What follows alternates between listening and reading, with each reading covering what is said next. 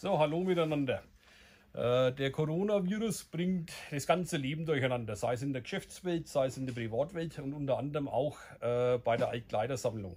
Da haben wir zwei Probleme bei der Altkleidersammlung. Einmal die Logistik, das heißt, es fehlt unter Umständen das Personal, um die Kleidercontainer auszuleeren und vor allem die Abgangsseite. Ja, sämtliche Länder, die als Absatz mal gelten, haben sich verriegelt, haben zugemacht. Man bringt keine Altkleider mehr in diese Länder hinein.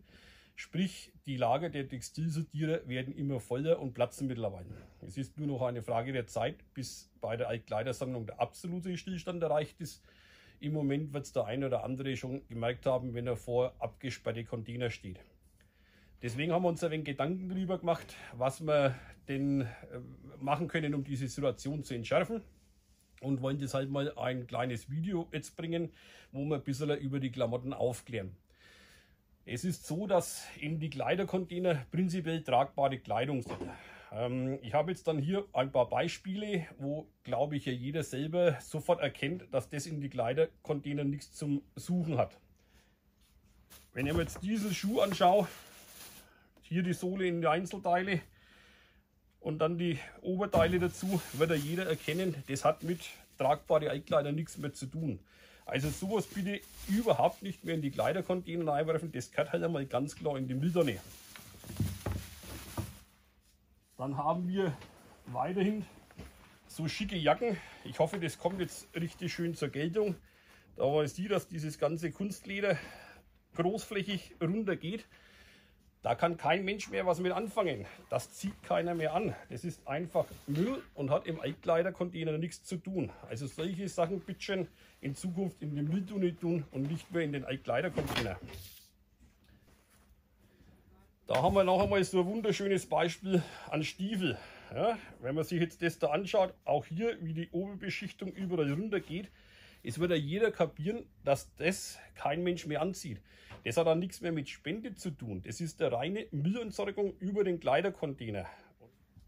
Haben wir als weiteres Beispiel dieses Handtuch. Normalerweise kennt man jetzt sagen, ja gut, ein Handtuch, das taucht vielleicht noch als Putzlappen. Ist prinzipiell auch so, dass wenn etwas aus 100% Baumwolle ist, dass das als Putzlappen noch taucht. Bei dem Handtuch haben wir aber das Problem, dass das schon so dünn ist, dass der Stoff schon so alt ist, dass er überall einreißt. Ja, da kann man keinen Putzlappen mehr draus machen. Ja, auch wenn es Baumwolle ist. Das Ding ist einfach Müll. Äh, in einem gewissen Maße kann man eine stoffliche Verwertung bei Kleidern machen, aber das ist nur ein sehr geringer Teil. Die Kleidersammlung lebt eigentlich nur von der Wiederverwendung. Sprich, es muss irgendjemand noch tragen können. Die Bitte, die wir einfach haben, und das gilt jetzt für das Rote Kreuz, für den Kreisverband Nürnberg, wie aber für alle anderen gemeinnützigen Organisationen auch, äh, werden Sie sich darüber bewusst, dass man nur tragbare Klamotten sammeln und alles andere, solche Beispiele, wie ich jetzt da gezeigt habe, die kann einfach in den Müll. Wenn Sie das nicht in den Müll tun, sondern wir müssen das dann in den Müll tun, haben wir die Entsorgungskosten drauf und das macht unsere ganze Arbeit schwer oder zunichte.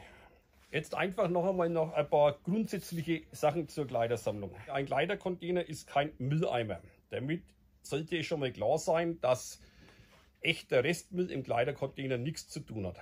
Es kann aber in einen Kleidercontainer keine Matratzen rein, keine Teppiche rein, keine Elektrogeräte rein und auch wenn es gut gemeint ist, keine Spielsachen rein. Weil das einfach zu diesem ganzen System Altkleider nicht passt. Wenn Sie solche Sachen haben wie Spiele, die noch in Ordnung sind, wie Teppiche.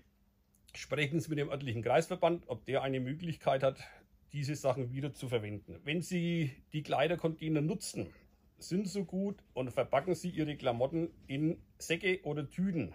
unsere Container sind zwar alle Spritzwasser geschützt, aber nicht feuchtigkeitsdicht. Das heißt, die Klamotten, wenn Sie lose hineinwerfen, ziehen Feuchtigkeit. Und wenn die Klamotten feucht sind, ist es schon mal fast der Tod dieser Klamotten. Also bitte in Säcke verpacken. Am besten wäre sowieso, Sie geben das Ganze bei Ihrem örtlichen Kreisverband ab. Hier bei uns in Nürnberg wäre es im Moment möglich von Montag bis Freitag von 7.30 Uhr bis 15.30 Uhr. Außerhalb dieser Zeiten haben wir einen Kleidercontainer vor unserer Sortierung stehen, der dann immer am nächsten Werktag wieder ausgeleert wird. Dankeschön.